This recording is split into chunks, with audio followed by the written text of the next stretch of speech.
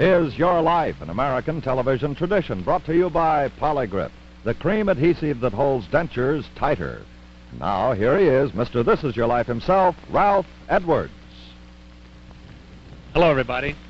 This airplane is a giant B-52 jet bomber, and we're here at an historic and vastly vital location.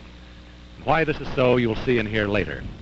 We're at the Edwards Air Force Base, 300,000 acres in the high Mojave Desert, 90 miles north of Los Angeles. 12,000 Americans live and work up here.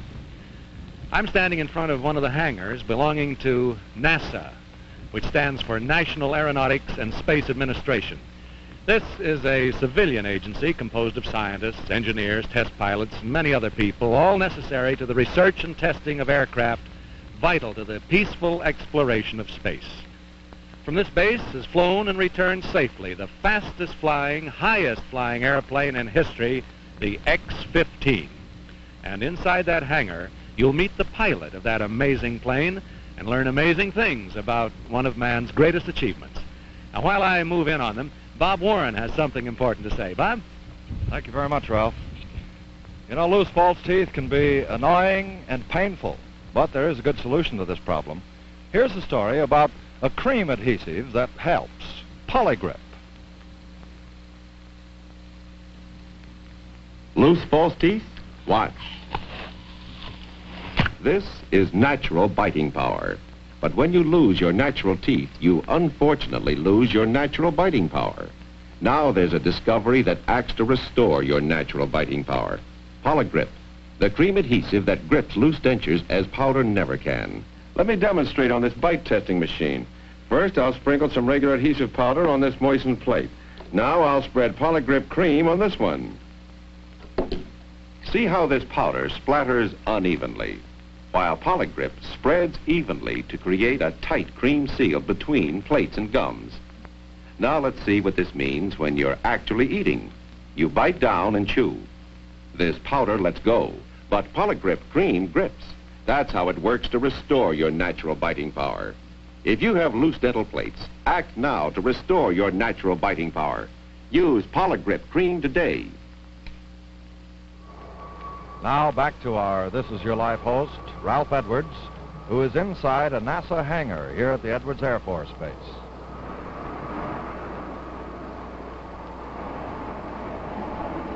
Hey, how are you doing here, fellas?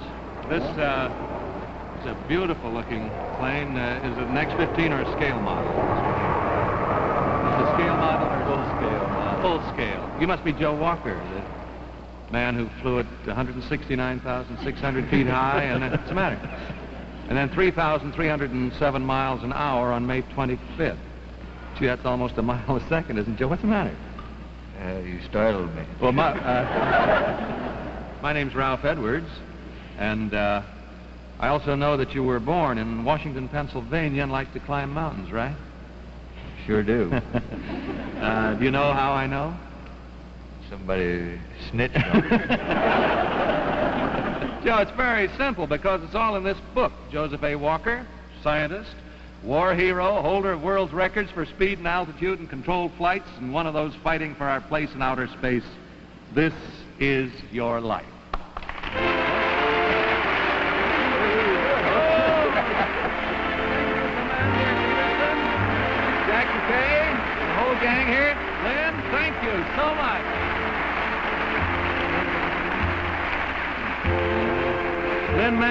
Been such a help to us here. Thanks, Lynn. Oh, you know, Joe, there's a lot of things going on around here classified as top secret, but I'll bet this was about as well kept as any of them, wasn't it? Huh? Sure know it. You better sit here in the pilot's seat right here. Sit right up there, because This is worse than last Thursday. That's when you took the record-making flight, isn't it? Yes, indeed. Well, we'll take off on a flight into your past and see what goes into the making of a man like Joe Walker. We'll start at Washington, Pennsylvania, where, as we said, you were born, right? The 20th of February, 1921. That makes you only 40 years old, Joe. And you're the firstborn of a young couple named Thomas J. Walker and Pauline Walker. You live a happy childhood on your father's farm. Uh, picture there, Joe, little brother John. You attend the Lagonda Grade School. Joe always was good in books, but he was mighty handy with machinery and tr- tractors and tools and everything like that. A voice that has meant much through the years, that of your father. Thomas Walker, here from the old farm in Washington, Pennsylvania. Here's Dad.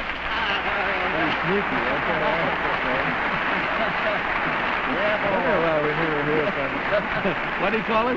Said it's kind of sneaky. Kind of sneaky's right. Well, you know, even the audience here didn't know about this. Did you, ladies and gentlemen? Oh, some of you may, may have who were in on the personnel. Most of you didn't. And boy, it was a tough secret to keep. This fella, it was all over the place today. Just like him. We almost ran into each other in the cafeteria, and I zooped out the other side. Oh, boy, I, I wouldn't want to go through this again. I tell you. You say your son had a way with tools and machinery, Mr. Walker? He sure did.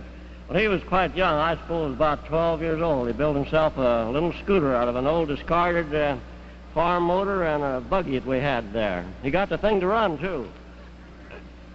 Remember It that? ran all right, but one problem, he didn't put any brakes on and couldn't get the monster stopped. Another boy from the Walker farm, your brother John, here from Clarion, Pennsylvania. Here's brother John.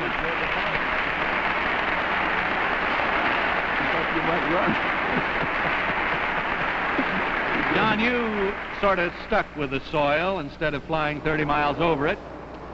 Yes, I did, Ralph. I'm now employed by the Pennsylvania State University as Extension Agricultural Agent in Clarion County. You know, Joe always kept us well supplied with model planes since this was one of his favorite hobbies when he was a child. Yes.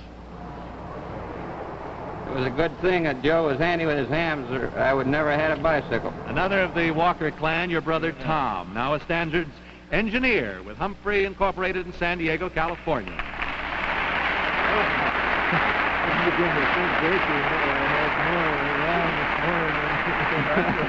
What about the bicycle, Tom? Oh, well, we had an old hand-me-down bicycle, and the time got through the other three, and to me, why, it was somewhat of a wreck. Joe fixed it up and showed me how to keep it in running order, and I had something to ride on it. Well, uh, he also made you something else to ride on. Remember these, Joe, right over here? Yep. What do you call those? Yankee scooters. Yankee jumpers, I think, scooters. There's still another Walker, your brother Paul, now a helicopter pilot with the U.S. Army in Germany. You must be very proud of your boys, Mr. Walker. Sure am, Ralph. Nice bunch of boys. Yeah, bet they are. Why, why don't the Walker men sit down in here and we'll cruise over some more of Joe's life.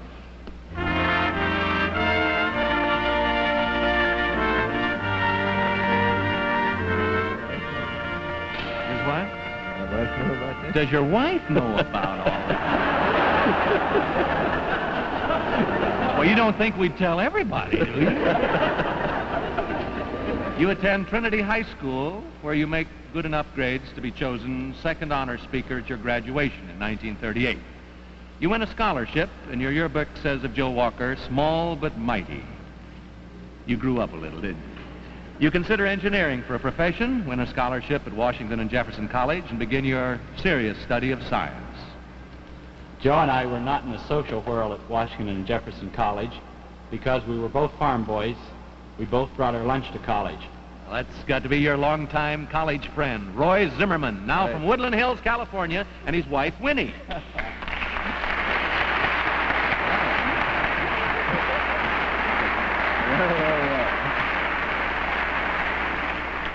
Now, uh, I understand that you two had a hand in writing the physics handbook used at Washington Jefferson for years, Roy. Well, besides being a good student, Joe was also quite an athlete. One time before a track meet, the coach uh, approached Joe and asked him to enter the uh, mile run. He said it's easy. All you have to do is start out sprinting and just keep on sprinting. Well, Joe apparently took him literally, and he started off on a dead run. uh, at the 220 mark, he was clocked as the fastest 220 for the day. Uh, the same thing, the same thing was true at the half mile mark. Uh, Joe eventually was pretty worn out, but by that time he was so far ahead that no one else ever caught up, and he won the race. And Joe has a pretty marvelous place in my life, too, for he was best man at our wedding. Thank you, Roy and Winifred, Winnie Zimmerman, for helping us tell the life of Joe Walker.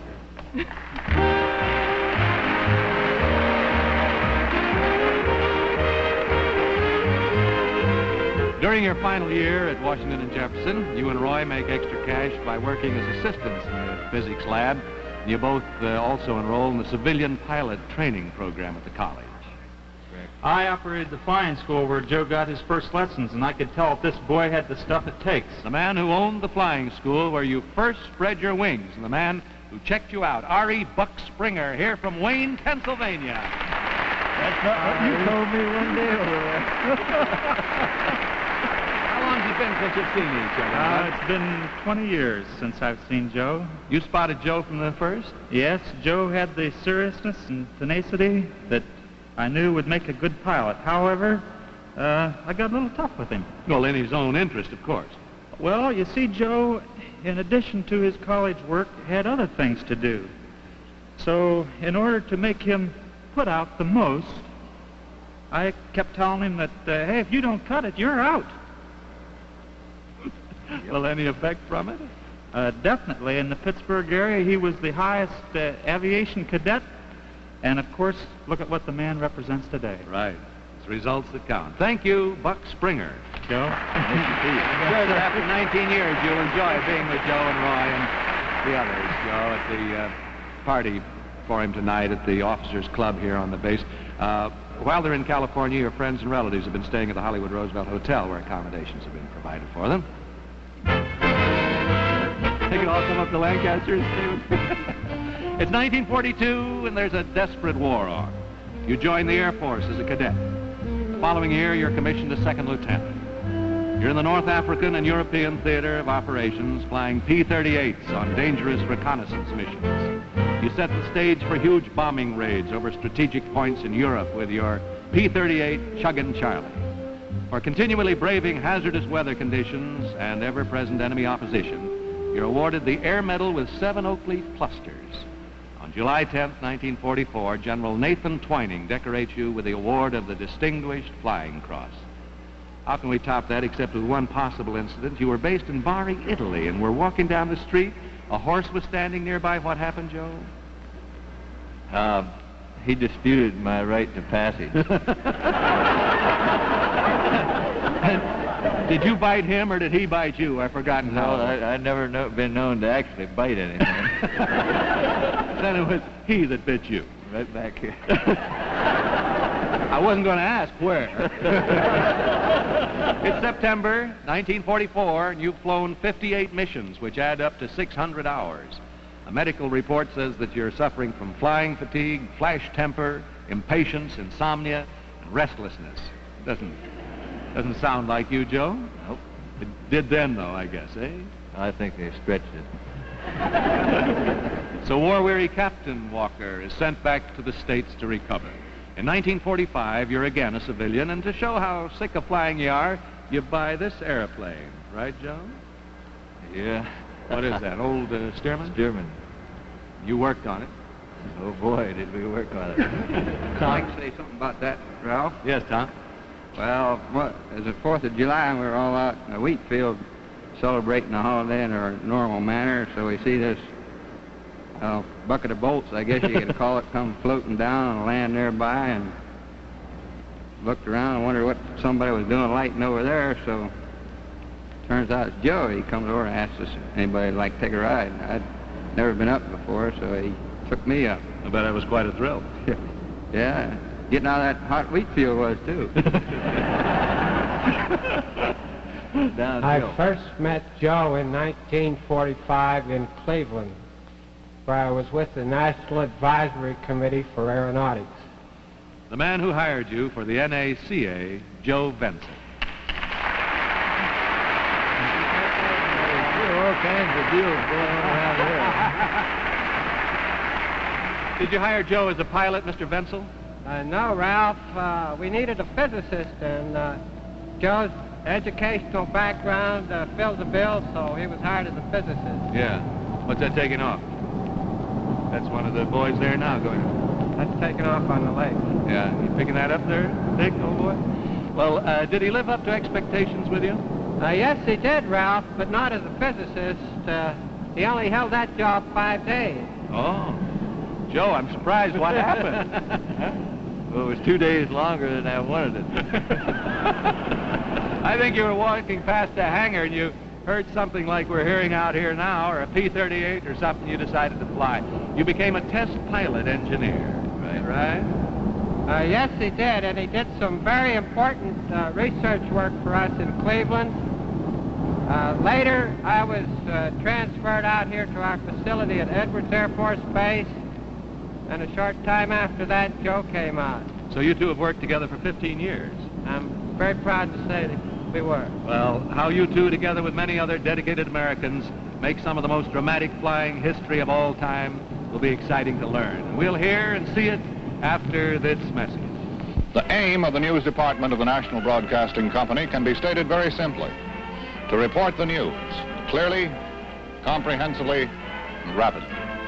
The measure of its success can be stated just as simply. In many cases, more people see news events on NBC than the total of the other two networks combined. Literally hundreds of NBC newsmen are at the ready 24 hours a day. Men the caliber of David Brinkley, Frank McGee, Irving R. Levine, Joseph C. Harsch, and Frank Bourgholtzer. Men like these are in Moscow at this very moment, and they're in London, in West Berlin, in Paris with President de Gaulle, in Washington, and at UN headquarters in New York. That is why news specials, often on the air only hours after they're happening, are able to explore important developments in depth, clearly, comprehensively, rapidly. That's why you have learned to rely on the news department of the National Broadcasting Company. And now, Edwards Air Force Base, back to Ralph Edwards and tonight's principal subject, the man who has flown an airplane faster and higher than any other pilot, Joe Walker.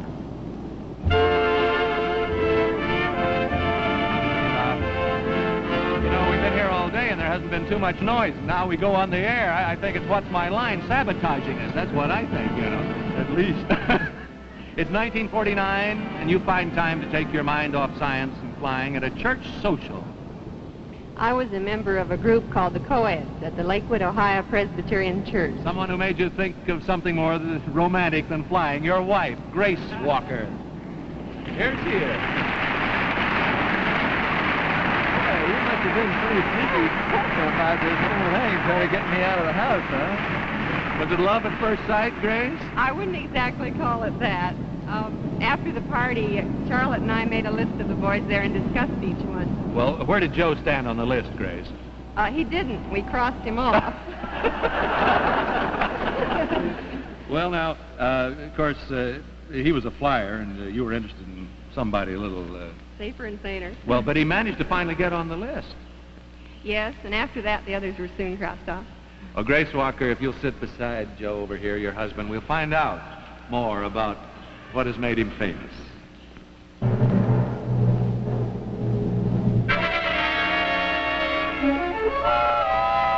Our country is in a tense struggle for supremacy in the air and outer space.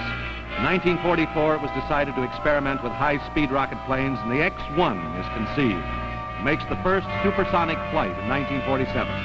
The D-558 is next and is flown successfully, you being one of the pilots, Joe. Other models follow and you fly them, extending again and again the world records in speed and altitude. Then comes the X-1A. You remember that one?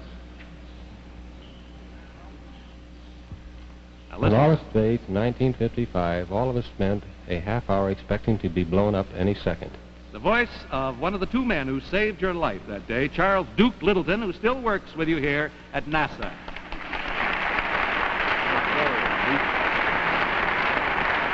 It must have been quite a half hour, Duke. It was, Ralph.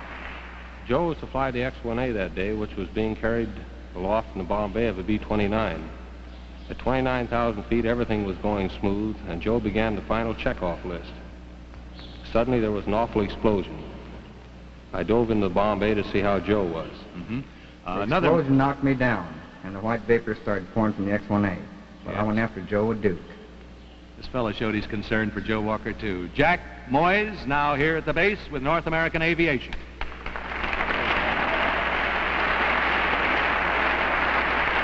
Come over here, Joe. We'll put you in the middle of these two fellas. Didn't you realize that unless the uh, pilot jettisoned the X-1A and Joe, you all might have gone up in another explosion, Jack?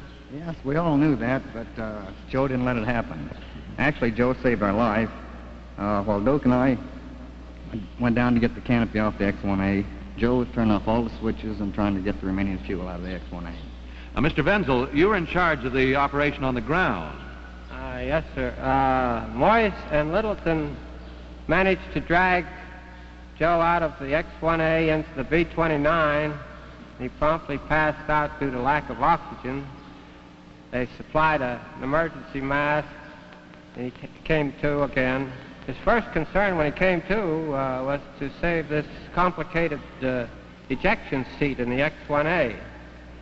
I ordered them to forget the seat, and the X-1A was jettisoned. And for this, Charles Littleton and Jack Moise were awarded the highest award given by NACA, the Distinguished Service Medal. And Joe and the pilot, Stanley Butchart, were given the Exceptional Service Award. Thank you.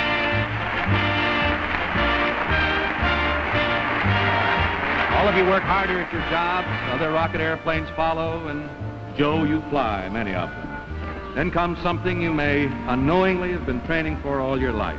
This beautiful thing, the X-15. You and two other pilots are chosen to make experimental test flights with it. Here you are all together over there. You, Joe Walker, representing NASA, Major Robert White, U.S. Air Force, Scott Crossfield, representing North American Aviation, builders of the X-15. Now, when you get that X-15 up there where there's no air resistance, how do you control it in flight, Joe? With reaction controls. Little rocket jets in the wing and in the nose to adjust the attitude of the airplane so it keeps going the same way we are. Now, for a moment, let's watch Joe in action. Joe, you watch over there and tell us what's happening. Watch the monitor now. We're in the X-15 hung under the wing of the B-52 on takeoff. Starting to climb up uh, to reach our launch position and altitude. The pilot gets in the X-15 before the B-52 starts taxiing. Now we're doing our pre-launch. There we go. Vapor you saw was the engine prime, and that picture was taken from a chase airplane. This is a landing approach.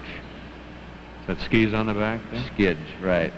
That looks like one of the better ones there, too. Boo. oh, man. I could feel that all the way up here. Quite a difference from little Joe Walker's ride on that uh, one-runner sled, the Yankee Jumper. Is that what you call it? Oh, I don't know about the same kind of a jolt. It's August 4th, 1960, and your name's in headlines. You've flown a controlled airplane nearly 2,200 miles an hour, a world's record. May I say a word about those headlines? Of course, Winnie Zimmerman. Well, just before the headlines, we invited Joe to dinner. And just after the headlines, he came. The neighborhood children were very, very excited. And we found that one of our daughters, Susan, was out selling tickets for the. Selling tickets? yes, for the youngsters to come and look through the fence and watch Joe swim. How much? Five cents each. Five cents a peek. Well, here are the children of your closest friends Eileen, Susan, Irma, and Beth Zimmerman. oh, boy, the little business girls. Now, which one of you girls sold the tickets to see Joe Walker? I did. Well, I'd like to talk to you right after the show, Susan. Thank you very much. Then, uh, just last May 25th, in order to learn more about stability and control data and heating information, you fly the X-15 3,307 miles an hour. Did you see yourself on television? That's something that has made every American and every member of the free world feel proud and take heart. Mr. Joseph Vensel, Chief of Flight Operation Division here, would like to make a special award. Would you stand up here, please, uh, Mr. Walker and Mr. Vensel? You're going to make the award. Joe, I know you don't like to uh, talk about this, but uh, do you recall uh, an operation again in the X-1A that we had to cancel the drop? Uh, you buttoned up the cockpit, got back in the B-29, but you forgot to pull in the nose spool. Yeah, What happened to it? kind of got bent. well, in behalf of all of your NASA associates here, we would like to present you with that boom of the X-1A.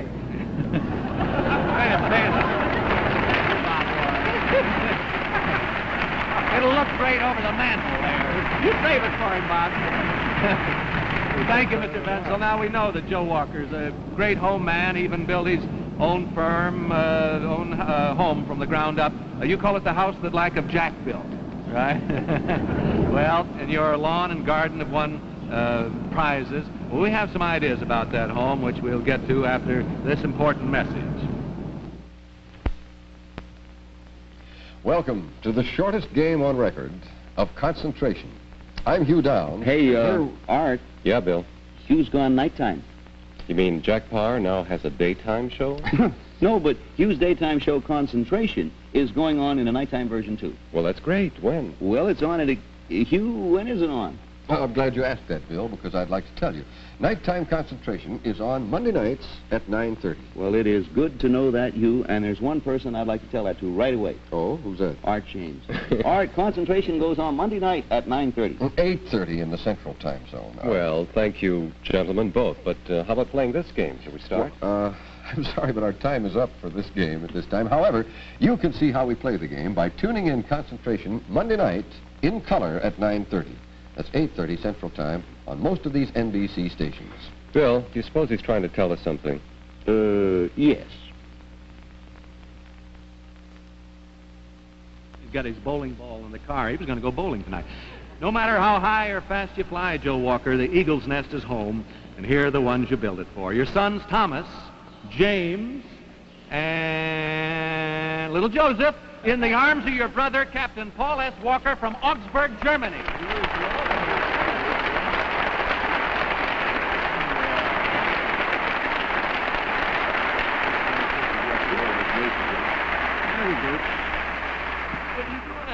Ralph, this is certainly wonderful. This is about the first time Joe and I have seen each other for about eight years. Well, we hope you can enjoy each other for a few days. You better be good at bowling. He was going to go bowling tonight. Now to get back to the Walker home, Paul, you stick around here. We know that. Uh, go ahead, sit down, Joe, if you want, and everybody. We know that raising uh, things and making them grow is still important to you. So, from the Porter Cable Machine Company uh, comes this rugged and powerful Mark I suburban tractor and attachments. Now, now you can really tear up the place there. The uh, new den that uh, you have just built with your own hands will be furnished with this beautiful correlated group of den furniture in Danish teak, provided by the Shield Chair Company, whose name is the hallmark of fine furniture. Uh, as a scientist and music lover, we know you'll enjoy this wonderful Robert Stereophonic 990 tape recorder. Let your two boys, other boys, come over here and stand right behind you. Provided by Roberts Electronics. Isn't that a beauty? With this, you can record forever the sound of your family's voices. And with this Bell & Howell 16-millimeter electric eye uh, camera, you can record their pictures, and you'll be able to see those pictures as well as what's happened here tonight with a 16-millimeter Bell & Howell sound motion picture projector, both provided by the Bell & Howell Company. Joe, for a personal gift for Grace, your lovely wife, this beautiful gold charm bracelet Bob Warren is presenting there, designed especially for her and presented to her by Marshall Jewelers of New York City, Grace. Joe Walker, you make we're sure that the real gold there lies not in its sunshine or rocks and hills, but in the hearts of people like the Walkers. This is your life. Good night, Joe, and God bless you. Travel arrangements for guests on This Is Your Life are provided by TWA Transworld Airlines, who fly the Superjets. You fly the finest when you fly TWA, the Superjet airline. This Is Your Life has been presented by Polygrip, the cream adhesive now in this economy size package.